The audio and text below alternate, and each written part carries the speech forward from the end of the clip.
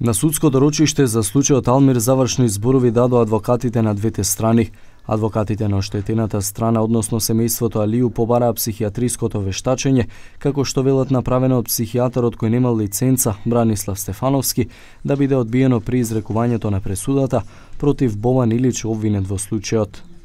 Ова е уште еден скандал кој што излезе во јавноста, а тоа е со неважечките лиценци на ангажираните вештаци од страна на основното јавно обвинителство Куманово. Вештите лица кои што го изработувале психиатриското вештачење, Бранислав Стефановска, Бранислав Стефановски и Зоја Бабин Костова,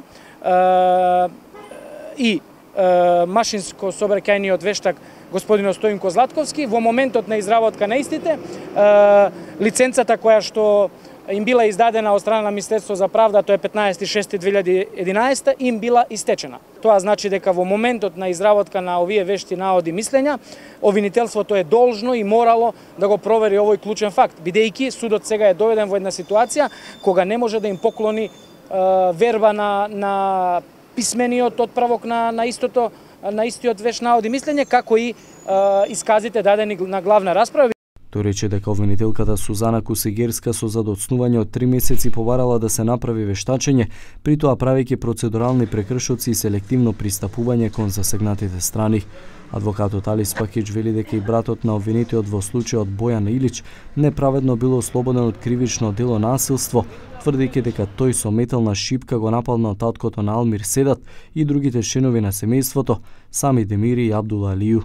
Адвокатот на семејството Илич Стеван Павлески побара да се осудат иницијаторите на расправијата и истакна дека Бобан делото го извршил во афект, сакајќи да го избегне физичкиот конфликт. Павлески исто така нагласи дека ја осуди преквалификацијата на делото што ја направи јавното обвинителство и дека се согласува со психијатриското и техничко комуникацијското вештачење врз основа на што е и преначено делото.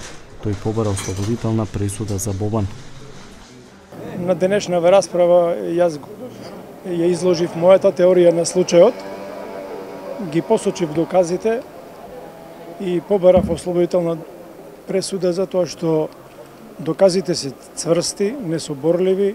Тоа е поврзано со правото на Бобан Илич да се брани секогаш кој ќе биде нападнат. Државата е должна да ги заштитува и луѓето, но тоа е и природно право на човекот. Да, вештачењата се резултат на доказите. Доказите кои што се во вид на видеоснимки, доказите кои што се во вид на искази на сведоци, очевидци на настанот, се супер доказите и врз основа на тие докази се изготвени вештачењата. Обвинетиот Бобан Илич пред судот рече дека не се чувствува виновен и делото за кое се товари изрази жалење за смртта на Алмир Алију. Сетата Алију, Сами Демири и Абдула Алију пак побараа да биде повлечено обвинението против нив, бидејќи како што велат само се обиделе да го заштитат нивното семејство.